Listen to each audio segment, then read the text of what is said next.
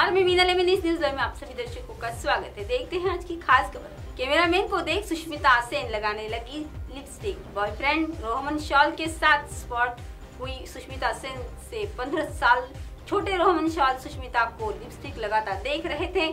बताया जा रहा है कि सुष्मिता सेन सोमवार देर रात एक अवार्ड शो में शामिल हुई। जैसे ही वे इवेंट इवेन्यू पर पहुँची तो वहाँ मौजूद कैमरामैन उनकी फ़ोटोज़ क्लिक करने लगे। फ़ोटोज़ क्लिक करता देख सुष्मिता ने पर्स में से लिपस्टिक निकाली और लगाने लगी। फिर दोनों ने एक दूसरे का हाथ थामा और फोटोग्राफर को रोमांटिक पोज दिए। पोज देते हुए दोनों एक दूसरे में खो गए।